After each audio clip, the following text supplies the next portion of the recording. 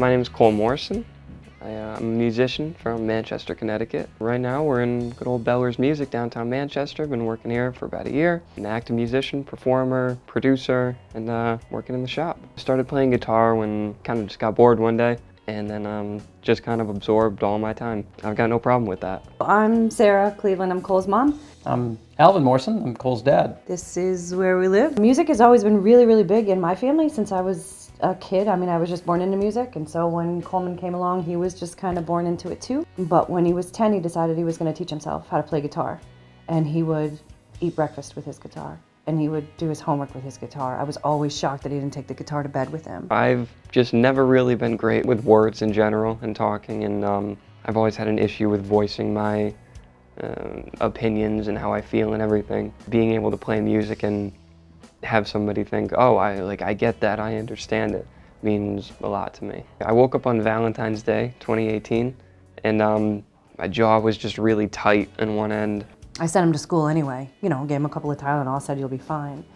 And within 45 minutes, he called me at work and he said, I can't stand up. I don't, I don't have balance. I just felt the hearing go lower and lower and lower. And so I thought, all right, maybe it's just like clogged up. I I don't know if there could be that kind of issue. When that first came about, you texted me, and I'm thinking, oh, he's got a cold. You know, it was February, and got him in right away. It's not like a whole lot of time went by. And then he had an MRI. I mean, it was. They wanted to make sure there wasn't a brain right tumor. Like right it flipped away. our world upside down. We were like, you get this perfectly healthy kid Mm. who's this amazing being on stage and totally self confident and all of a sudden somebody says, "Oh, maybe there's a tumor in there or something. We should look." And So in the course of one week, he goes from having issues hearing to you're, you're, you're deaf now in that ear.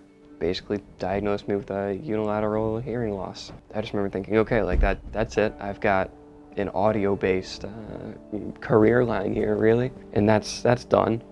So I just spent um, a lot of time on the couch with my bad ear pressed up against it, thinking, all right, maybe I won't be able to hear anyways. I think the concern right away with Cole was his mood changed. He's the funny kid.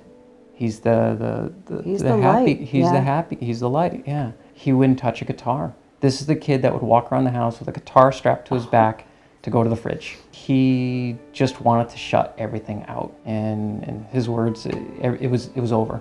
And uh, it was just really rough trying to get back into music after hearing all these stories of people losing their hearing and then their hearing's gone. There's no comeback for it.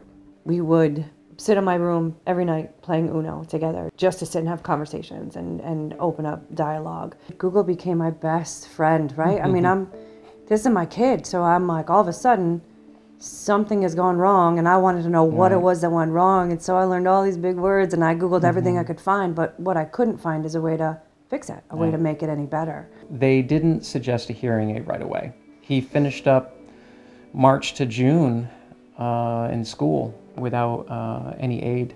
And so I believe it was in June or July Yeah. that they finally had us go in. And, and again, we're just following doctor's, you know, doctor's orders. You know, you're going to go in and he's going to get a hearing aid. And we didn't question anything about it, just the fact that, okay, this is what's best for him. I always thought that hearing aids were the ones that you ordered off that infomercial online where they tell you that your grandfather can hear you from across the living room and it's a dream come true.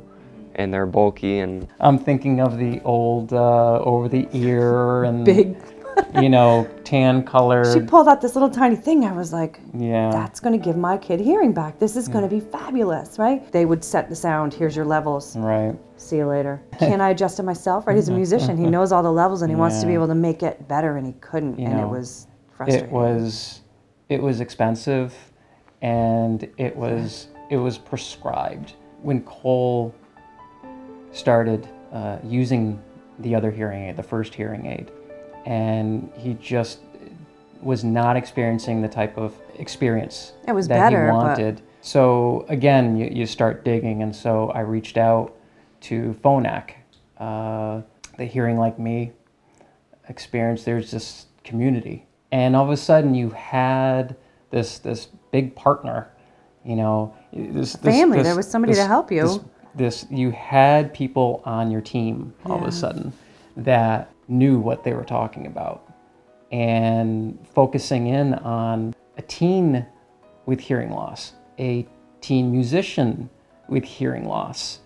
And it's almost like they understood things that the internet didn't understand, the, the specialists didn't understand. We didn't understand. And Phonak actually put us in contact with uh, an audiologist, which he's with now, that is incredible. She is very insightful. She was very friendly. The, She's local. I don't know why we couldn't find her. And they said, "Well, here's here's another kind of hearing aid. Try this." I got fitted for a Marvel, and I just had no idea that this kind of technology and that kind of size was available and an option to me, really. Cole bounced back quick.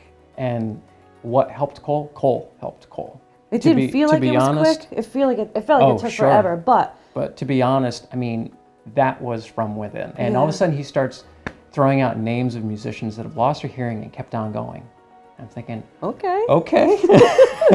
and that's when we knew Cole was back. The first time I played guitar with the Marvels and wasn't acoustic. And so when you're holding a guitar, really like the sound is gonna come from right here, which is right there. So I couldn't hear. And so the first time I had a Marvel on, I could hear my guitar again, which was really nice because before I just kind of had to guess, okay, my fingers are in the right place and I can kind of hear it, must sound good.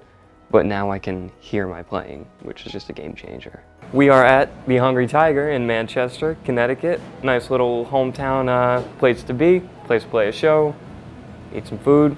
Tonight we're uh, just trying to get as many local people as we can out, friends, family, everyone in between. And uh, we're gonna play some songs and hope that people like the way they sound. feel safe